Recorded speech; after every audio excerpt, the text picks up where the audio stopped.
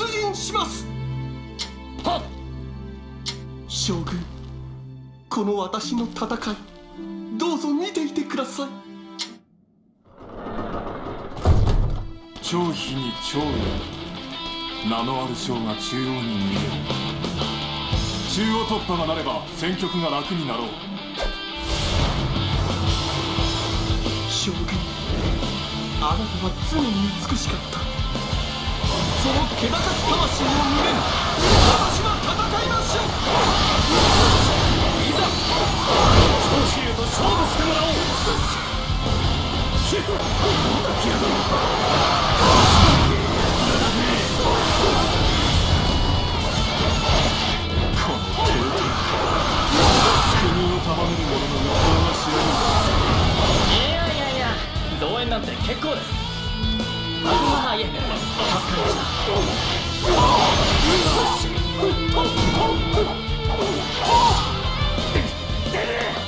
馬長軍出陣南の砦が突破されました馬長急ぎ馬長を止めよ。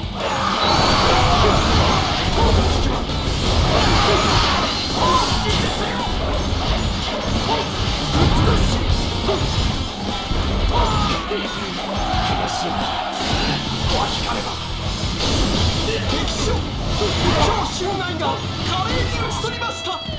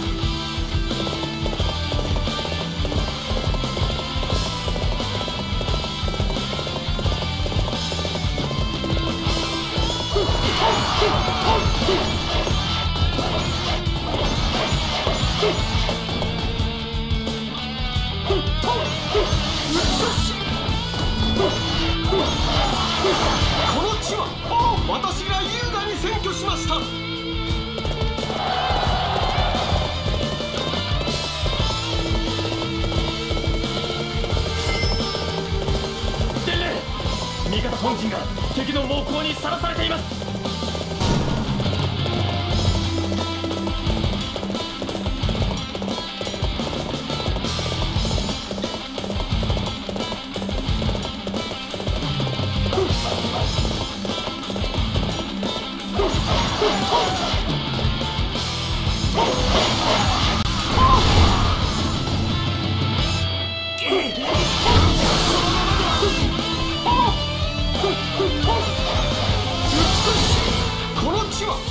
私が優雅に占拠しました。こ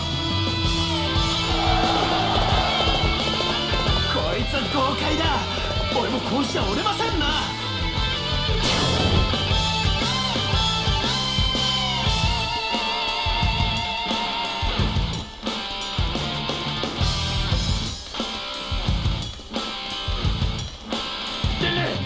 味方本陣が敵の猛攻にさらされています。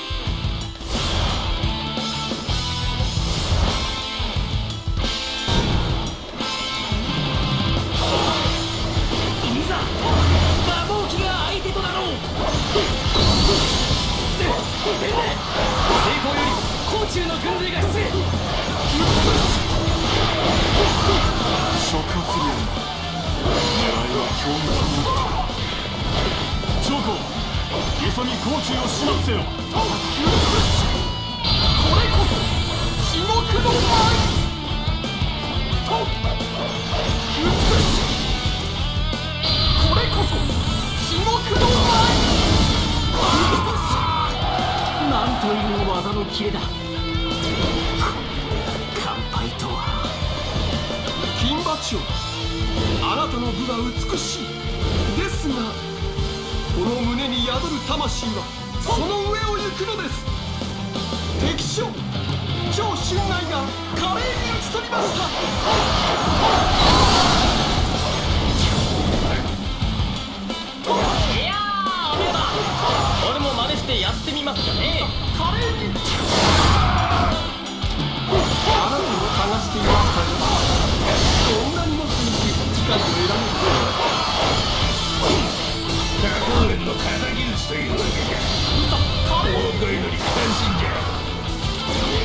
相手をしようぜ私はあなたを撃たねばなりません美しき勝利を花崗園将軍に捧げるために。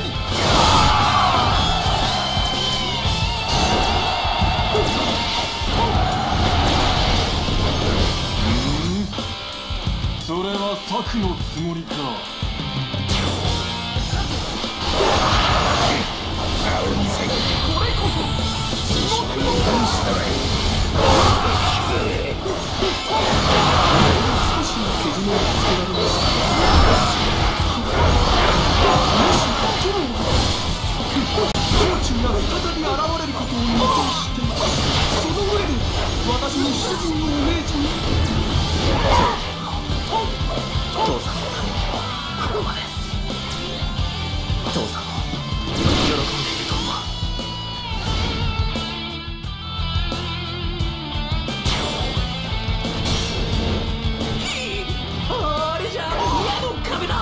だあん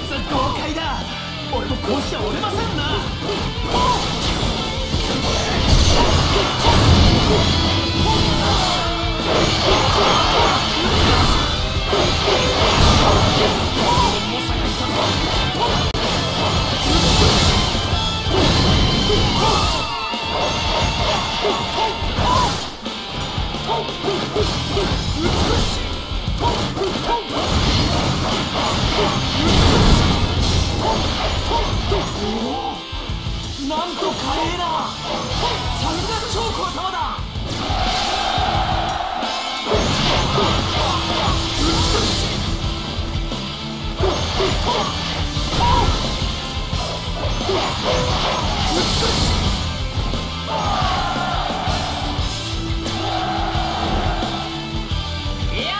ーお見事。俺も真似してやってみますかね。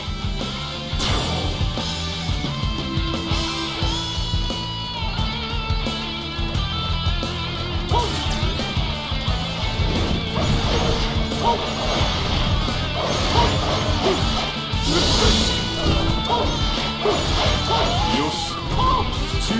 制圧できたか。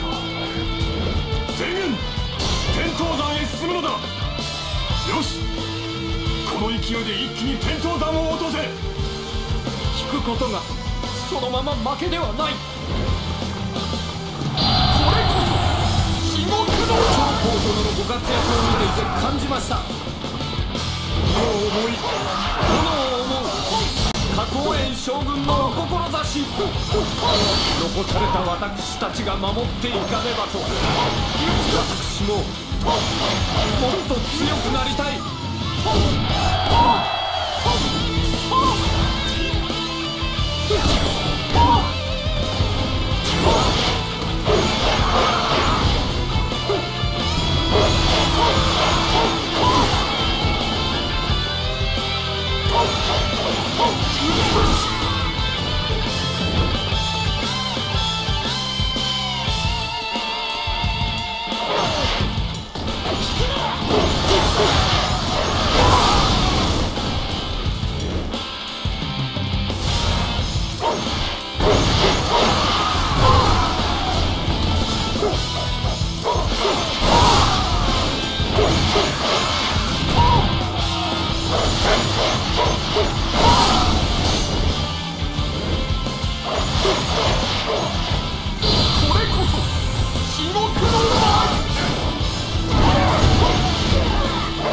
フッフ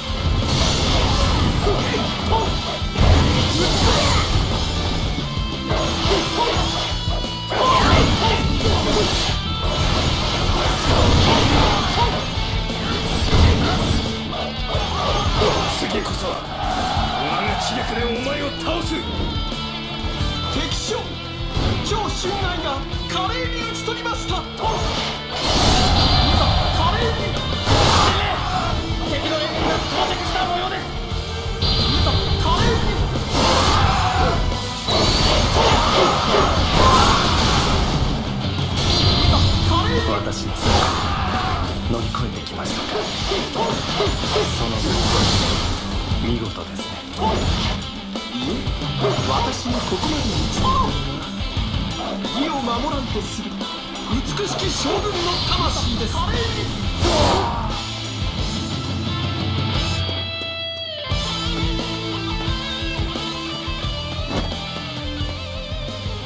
撤退準備は整った。これ以上無駄な戦力を使うな。関羽が繁盛攻めに動いたようだ。漢中は犠牲となったが関羽を引きずり出すことに成功した。芝居計画通り孫権との盟約を進めよ。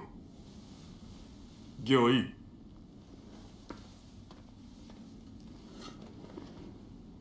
もうとけ。お前は漢中を縁を捨て石にしたのか。花公園の死は想定外よ。だが関羽の命と引き換えならば花公園も本望であろう。もうとく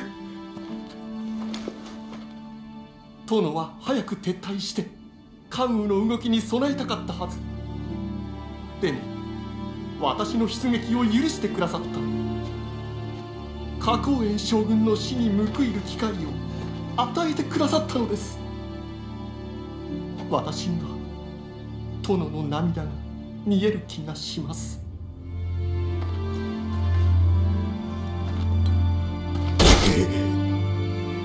全ては関羽を釣り出すためだった。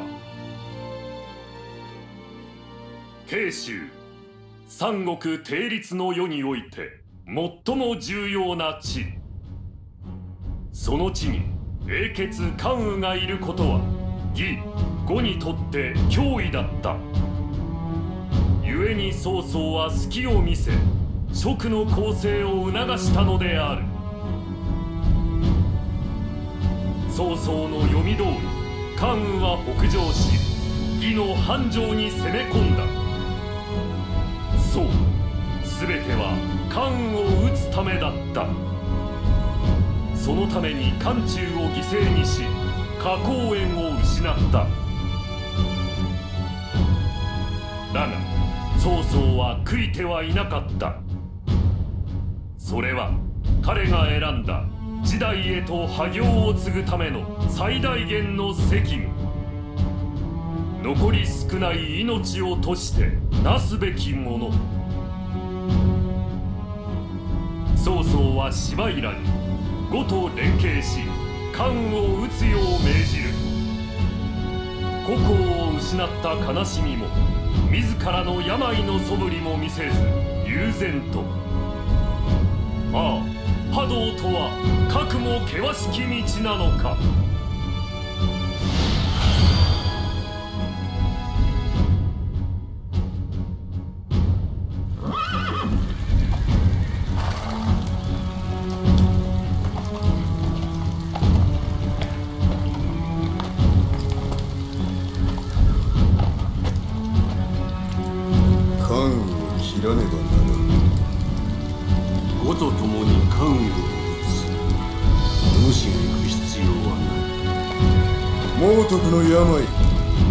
かぬと思ったが呉の動きを待つなど悠長なことは言ってられまい。関羽を倒せば天下は近くなる。が道半ばへ。せめて死ぬ前に天下の片鱗だけでも見せてやる猛徳終わりにしてやる